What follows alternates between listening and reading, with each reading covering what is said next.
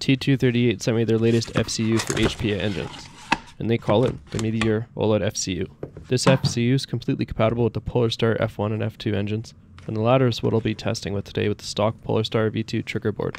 There's no need to worry about wiring diagrams or if things fit as the Meteor FCU uses the same wiring pattern and connectors as the Polarstar engine. T238 also claims compatibility with Blackleaf Speed Gen 2 trigger boards, which support Wolverine engines, but I can't test or check those claims, so I won't be discussing that any further. If you don't know, FCU stands for Fire Control Unit. Basically, this is the brains and control board behind all the settings of your HPA engine. In a very nicely designed box, you get a printed manual. You also get a really nice patch. Love this thing. Maybe it's the orange color, but the design is pretty cool. You get both a 3 pin and 5 pin JST ZH connector with open-ended wiring on the opposite side. Finally, you get the Meteor OLED FCU. The board supports JST battery connector and JST ZH5 pin for trigger board. The 3-pin cable and port is for an integrated magazine power supply interface. Man, I have to say right off the bat, this FCU feels really high quality and built solid. While I struggle to put the box away and clean up my desk in the background, let's touch on some key features and compare the Meteor FCU to stock Polarstar FCU. So there's a ton of features to talk about. I'm going to leave this comparison up for a little bit so that you can digest everything. In this section of the video, I'll only glimpse over the settings in general, we'll get into more details on some things later. This FCU has some perks, but one thing I think is the biggest perk over the standard Polarstar FCU is the large multi-line OLED screen, which allows a very clear, easy, and direct way to adjust your FCU settings. This screen is twice the size of the Polarstar FCU. The T238 FCU cost is also very competitive, and it's regularly 82.59 USD, but on sale for 68.80 USD at the time of writing. This is in contrast to the stock Polarstar FCU, costing 81 USD regular price. Now you do get an FCU in the box with a new engine, but there are many reasons why you might need a new one, if not only for upgrading. Both FCUs support open and closed bolt engines such as the F1 and F2. Both FCUs can also control all necessary functional settings for the solenoids and nozzle, including poppet dwell, nozzle dwell, and nozzle delay. The T238 Meteor actually includes an additional poppet delay setting, which we'll discuss a bit more later on. One thing I noticed is currently the T238's poppet dwell is in milliseconds, while Polarstar's is in tenths of a millisecond, ultimately giving the Polarstar more tunability for air volume. I've already provided this feedback to T238 for consideration. Both FCUs also support anti-stiction, timeout, and pulse settings. By the way, if you don't know any of these terms, we'll go over some more of the settings in detail later. The bonus of the T238 FCU is the power support, which goes up to an 11.1 volt LiPo battery. This means that you're sure to already have something that works. FCUs don't really need big batteries or higher voltages, but now you can stop asking if 11.1 volt batteries will fry it, because in the T238 case, it won't. There's also an auto shutdown timer to avoid killing your battery if you leave it plugged in too long. There's also low battery voltage protection. The T238 FCU has lots of firing modes, including semi, full auto, 2 to 9 round burst, binary, sniper delay, and what they call ramp mode. There are some additional features for gel rifles, but we won't get too much into that. In general, the T238 FCU has more firing features and tunable settings to better control your rifle. Another cool feature of the Meteor FCU is the ability to save three engine profiles and seamlessly switch between them if you need to. The T238 Meteor has a magazine count simulation, which is something missing from the Polarstar FCU. One interesting difference between the FCUs is the full auto fire rate. The T238 FCU will actually calculate the expected fire rate, which is ultimately based on all the internal solenoid and delay settings. While Polarstar FCU differs here by allowing you to enter a desired maximum fire rate or a cap, but it doesn't necessarily mean the inputted settings will be able to provide that fire rate. The T238 FCU has some cool power and screen settings, including auto off, FCU runtime displayed, brightness settings, auto shutdown, which can really save your battery. The FCU home screen will also tell you the battery's voltage and cell count in case you're worried about low voltage. The T238 FCU has a page to show if the trigger and selector and magazine are detected, which helps you test installation of new components. Neither FCU has Bluetooth functionality or a phone app, which is a bit of a downside for something like this, but understandably that'll add to the cost. The T238 Meteor size is 9mm thick by 24 by 61 long, which is quite comparable to the Polarstar stock FCU being 58mm long, 23mm wide, and 7mm thick. So despite the additional PCB board on the T238 FCU and its bigger screen, it's practically the same size and will still fit very nicely in the stock of most rifles. With such a nice OLED screen to show off, we can dive into the FCU settings one by one. Just a single press to turn the FCU on. As it turns on, you get a preview of what you're set to and what FCU profile is selected. Immediately, you can see your shot counter in the middle. The top left displays the current FCU on time. Top right shows the battery cell count and voltage. Bottom right shows your selector setting and rounds per second expected in full auto. The bottom left confirms the FCU profile again. As you fire, there are other things that may pop up on screen too, such as information on which fire mode you just fired in. Single click again brings you into the main menu. You can jump right into the FCU setup, but I hit the power options first. We also have record and sensor settings to check out later. When you enter the power options, you can confirm display auto off time, which can happen either immediately with the ABT setting or after a set time delay, which can go up to 30 seconds.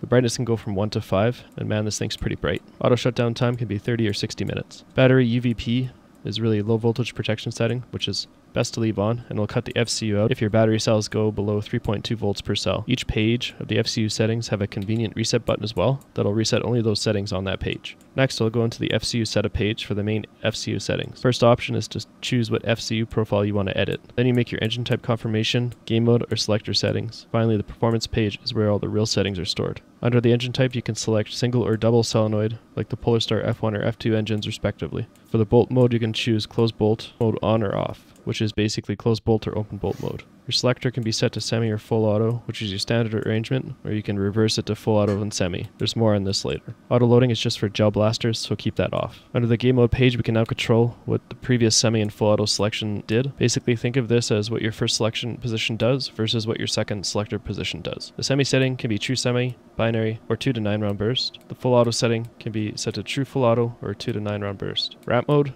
is also called paintball mode sometimes in their marketing. It's a special setting that'll automatically swap you to full auto from semi-auto if you're spamming the trigger really fast. The last setting is sniper delay setting, which is a mandatory time delay between each trigger pull, which can range from 0.5 to 3 seconds. If this is turned on, then both your semi and full auto fire modes will be limited to semi-auto fire governed by the time set here. Finally, we have the meat and potatoes FCU performance settings. With this FCU, you can set the main poppet and nozzle timings differently in semi-auto fire mode, and in the full auto fire mode, which adds an extra layer of tuning capabilities. The friction tab is for anti-stiction settings, and then there's also a BB limit tab which is for mag capacity simulation. The semi-settings page includes the four main timings and settings which are poppet dwell, poppet delay, nozzle dwell, and nozzle delay.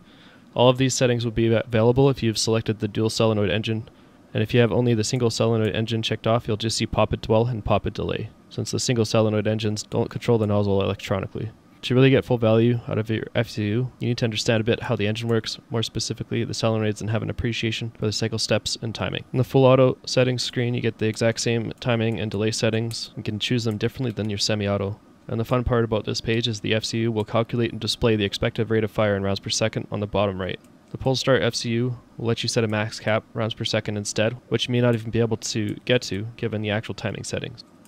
Over to the friction page, you can set an anti-stiction value. This is basically a one-time boost in the poppet dwell timing to allow more air to pass through once the solenoid is activated. The reason you might do this is if the rifle's been sitting dormant for a while or in the cold and you notice your first shot's not very consistent.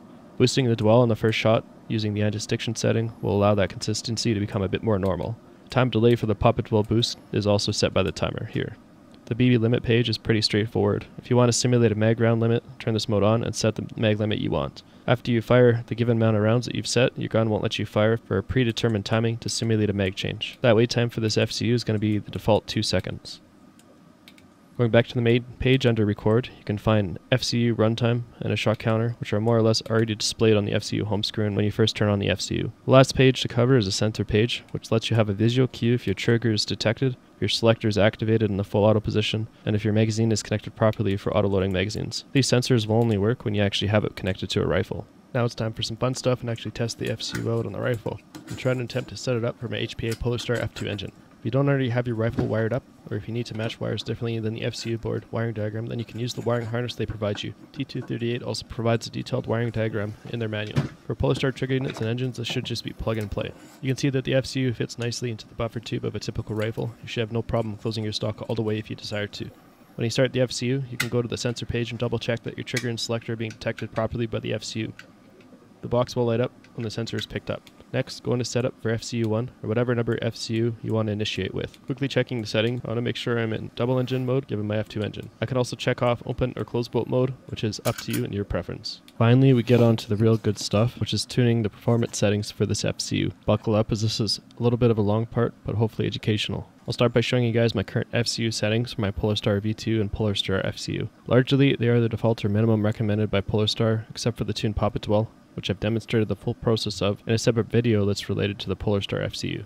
Poppet dwell is the most important setting, which indicates how many milliseconds the solenoid will remain active to let air out. If you're familiar with voluming an AEG cylinder and barrel, the setting is basically the same thing. Poppet dwell is highly dependent on your build, so it's very important to set it up correctly and not just take someone else's values. If you change other components of your rifle, like your barrel, hop-up bucking, or even the BB weight, I'd recommend rechecking your poppet dwell setting so there'll be a new ideal value. One thing that I don't like as much on the T238 FCU is that the setting for Poppet Dwell is in milliseconds, while Polarstars is in tenths of a millisecond. That means that Polarstar FCUs can fine tune their airflow just a little bit more. Tuning airflow is important for efficiency and accuracy. As you'll see later, this is why the T238 engine Poppet Dwell is set so much lower than the Polarstar engine as it's on a completely different basis. Comparing these FCUs for Poppet Dwell setting is also far more confusing than you think. Polarstar engine's default value of 0 for Poppet Dwell is actually around 40 tenths of a millisecond delay, or 4 milliseconds, and the increment setting you choose thereafter is based on adding to that by tenths of a millisecond. So a setting like 45, showing on my Polarstar FCU, is actually closer to say 40 plus 45 or 85 tenths of a millisecond, which is 8.5 milliseconds milliseconds, and that's comparing to the T238 FCU that sets their Poppet dwell simply based on milliseconds. Using the tenth of a millisecond tuning I think would be better for T238, so I've sent them that feedback. T238 FCU also only lets you go down to as low as 4 milliseconds or 40 tenths of a millisecond, which is pretty close to the default setting from the Polarstar FCU. In short, just be careful not to assume your Polarstar FCU Poppet dwell can be easily transferred over, and you should 100% redo your Poppet dwell setup. I've demonstrated this full process before for Poppet dwell setting, but it's a worthwhile subject, so I'll go over it again specifically with the T238 FCU. First step is get a chrono. For this setup, make sure you're using the BB weight that you plan to use in game. Make sure your Poppet dwell setting to start is set arbitrarily high. For the T238 FCU, you can consider something like 15 pretty high. The reasoning being is that the higher the air, the more you're overvoluming your rifle. At some point, your rifle will hit a ceiling for any given tank pressure. This is basically forced when you overvolume your rifle. Your first main step is to chrono, and then set your tank pressure down until you get your desired joule limit. With your poppet dwell set arbitrarily high, and your tank pressure set to what you want, you're essentially setting the ceiling of your FPS or joules. Now comes a bit of trial and error. You want to reduce your poppet dwell setting in small increments, which would be about 1 millisecond for T238's FCU, or by about 5 or 10 tenths of a millisecond on the Polarstar. I like to chrono 10 shots in each increment and then record those 10 results in Excel. Do yourself a favor and graph those results in Microsoft Excel or take a look at the numbers on paper. At some point you'll start to notice an obvious drop in the joules as you'll start chronoing lower and lower. If you graph this in Excel, you'll see the curve and you'll see the consistency in FPS between your group of 10 shots changing as you go between your dwell settings. If you plot the graph, you can easily see the point of optimum error as the peak of the curve where your FPS flatlines. This point should also be chosen to give you the best consistency between your maximum and minimum FPS within the group of all 10 shots. If you're doing this without graphing your results, then you can just look at the numbers you have, you start to notice them declining, and then you set your dwell and increment or two back up until the joule limit stabilizes again. Then you should be pretty close to that ideal value. But trust me, graphing it out is a lot easier to figure out the right optimum points. A super high DP will give consistency in FPS, but will be wasting lots of air as it's overvoluming your barrel. This may also lead to lower accuracy due to overvoluming too low of a poppet dwell, and you won't reach the desired joule limit that your tank's capable of at the set pressure that you've got, simply because the engine isn't letting out air long enough. Accuracy and shot consistency and FPS will also be terrible, and if you're on the extreme end of too low, your shots won't be making the range that you expect. Moving on to poppet delay. This is the time in milliseconds that the poppet will, will, remain deactivated or closed. Basically, this can help you tune your rate of fire with a low value, which is useful for having higher rate of fire builds or reactivity, but often at the expense of precision. T238 suggests never to set this less than 4 milliseconds, which is actually limited in their FCU. Just note that Polarstar's FCU doesn't even have this setting as a user adjustable setting, so this is sort of an additional layer and added customization for the T238 FCU. Next setting is nozzle dwell, which is another fundamental value, expressed in milliseconds. It indicates the time required to load the BB into the hop-up chamber.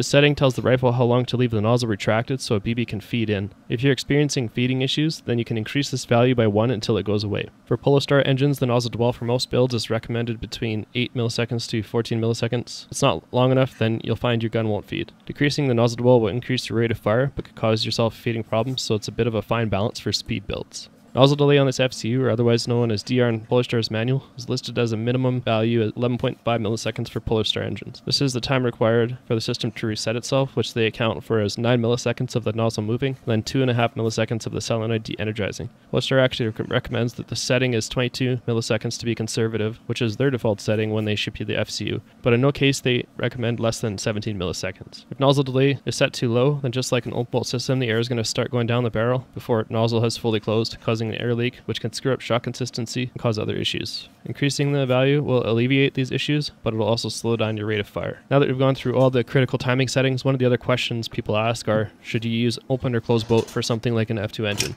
That's actually a trick. The nozzle is always in closed bolt mode position because it's set by a spring for the F2 engine, so the nozzle is always forward or closed no matter what to start. The difference in the FCU setting really means how the full firing cycle behaves, or whether the cycle starts with nozzle activation or the poppet and airflow activation. In terms of nozzle position, the F1 is an open bolt, F2 is a closed bolt. In terms of firing options, the F1 engine is open bolt, and the F2 can do both open and closed bolt firing. For closed bolt firing action, poppet solenoid activates, opening the poppet and sending air down the barrel. The timing associated with this is the poppet dwell or DP setting. After that cycle, the poppet solenoid closes and air stops going down the barrel. Then there's a delay timing between this step and the next step, which is the poppet delay that T238 has as added functionality. The next step is that the nozzle solenoid opens again, the nozzle starts moving backwards, and at the rear of the travel, a BB pops up from the mag. The timing for this action is set by the nozzle dwell. After this step, the nozzle solenoid closes and the nozzle returns forward under spring pressure, chambering the BB. And then you have your nozzle delay setting, which will cycle back from this last step to the first step, which was allowing air to go through the barrel and sending the BB down. And this is timed by the nozzle delay setting. Closed bolt mode, the chamber is empty to start, and as you fit a magazine, then your first shot fired will be a dud. This because there's no BB in the chamber. Likewise, if you pull your mag out, you can actually still fire one more round because there will be one left in the chamber. Closed bolt will allow first round accuracy to be a bit better. In the open bolt mode firing cycle, the nozzle solenoid opens up, the nozzle starts moving backwards, and at the rear of its cycle, the BB pops up from the mag. From here, you have your nozzle dwell timing that's between this step and the next. In the next step, the nozzle solenoid closes, and the nozzle returns forward under spring pressure, chambering the BB. In the next step, the poppet solenoid activates, opening up the poppet, sends air and the BB down the barrel, and this is timed by the poppet dwell. Then the poppet solenoid closes, air stops going down the barrel, and the gun's at rest.